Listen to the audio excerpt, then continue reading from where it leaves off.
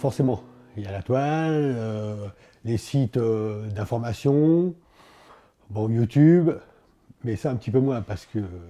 En général, je vais sur Google et je tape euh, un mot-clé.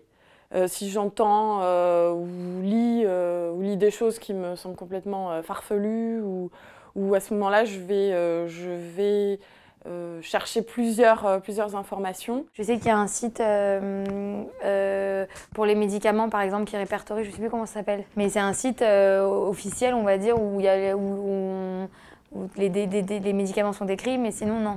J'ai pas du tout confiance à part mon médecin. Si je ne vais pas voir les médecins, je vais sur les sites, comme je vous ai dit, que je pense euh, juste. J'ai fait le tri, j'en ai mon 3, 3 4, et je vérifie. Et ce qu'on raconte, parce que des fois, il y a des signatures de médecins aussi, là, comme dans Essentiel Santé, Magazine euh, Santé. J'ai quand même plus confiance en mon médecin, mais pas un médecin euh, lambda, c'est un médecin qui me connaît. J'ai un ophtalmo qui, est un peu... euh, alors ça, m'a fait un peu bizarre parce que, en fait, je le connais depuis longtemps, mais voilà, il a... Il est plus tout jeune maintenant et il avait une assistante qui était, euh, qui était à côté de lui et puis elle lui glissait non mais ça ce truc ça n'existe plus alors je me suis dit bah mince alors parce que je me dis bah j'ai confiance en lui il me connaît depuis longtemps et machin mais euh, voilà comme tout le monde, euh, l'information peut être obsolète.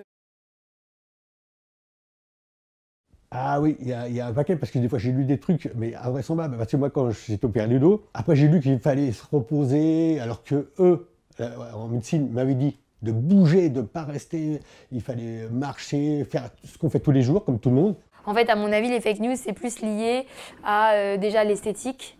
euh, la santé, en, en fait, tout, tout le monde se penche vers quelque chose d'un peu plus healthy. Donc, à mon avis, en fait, c'est tout ce qui est un peu secondaire.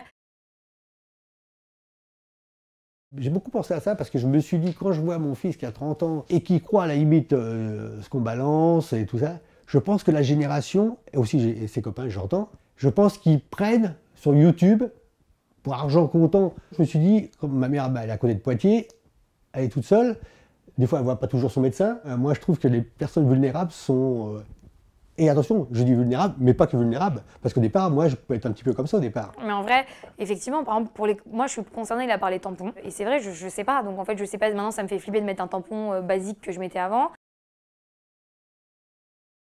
Je pense qu'avec des signatures de, de, de grandes point- pointures de, de la médecine, ça, peut euh, faire évoluer les choses. hein. Si on laisse comme ça, euh, moi je pense que c'est- foutu. Ça sera une déferlante euh, encore pire que maintenant. Je suis quand même inquiète. Et en fait, effectivement, j'aimerais bien avoir une source sûre qui me permet d'être sereine et de, savoir que cette information-là vient est certifiée et vient de, de médecins ou de personnes qui n'ont aucun intérêt à vendre ou à avancer ce propos.